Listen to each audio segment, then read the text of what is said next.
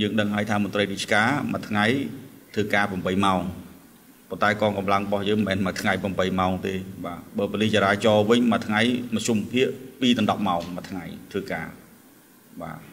នៅអានឹងនៅភ្នំពេញខ្ញុំចង់និយាយនៅភ្នំពេញនៅខេត្តអាចតិចជាងនឹងតិចអាចត្រឹមតែ10ទៅតិចតួចប៉ុន្តែបើនៅភ្នំពេញច្រើនរវល់ច្រើនបិទផ្លូវសម្របសម្រួលជួនជាពិសេសជូនថ្នាក់ដឹកនាំកម្ពុជាកម្ពុជា ទាំងជាតិនិងអន្តរជាតិអានេះយើងអត់គិតព្រឹត្តិការណ៍ធំធំដែលកម្ពុជារៀបចំឬមួយភ្នំពេញធ្វើជាម្ចាស់ផ្ទះនៃការកិច្ចប្រជុំមួយចំនួនផងដែរអញ្ចឹងហើយបើយើង expect គិតថាងចូលក្នុងប៉ូលីសធ្វើការមួយថ្ងៃ8ម៉ោងទៅគេអត់ទេបាទអានេះសំខាន់ណាស់យើងត្រូវដាក់ចិត្តដាក់កាយដើម្បីត្រៀមខ្លួនជាស្រេច